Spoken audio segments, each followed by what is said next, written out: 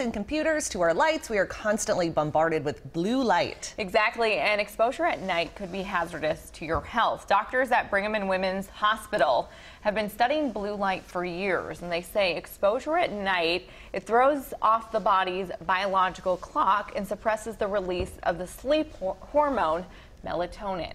We've done studies showing if we read, for example, from an iPad in the few hours before bedtime, that that resets our circadian clock by about an hour and a half later.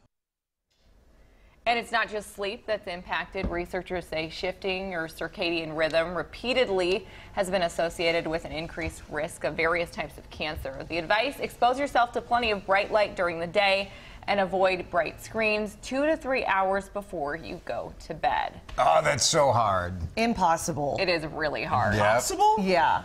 Two to three hours not looking at your Well, phone? I you- mean, what do you do with your time? Bear in mind what time you go to bed at, though. Like But the average person, if you're most going to bed at 10 o'clock, Most could- people are glued to their phones Okay, here's and what you need to sleep with their phone right on the nightstand. Channel 4.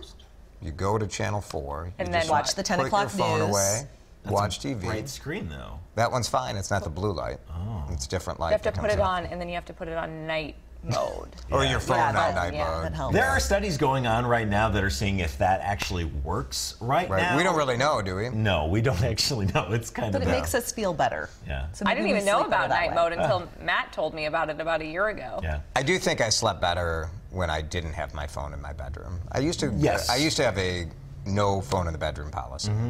Then what then changed? give it up. Well, this shift, like I always Yeah. worry that something will happen in the middle of the night, Mm-hmm.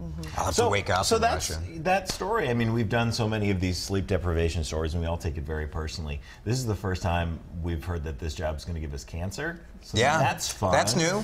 Mm-hmm. Really? That's the first time? I feel like we've heard that before. No, coffee was going to give us cancer. Coffee. Now Okay. It's related, but not Very true. directly.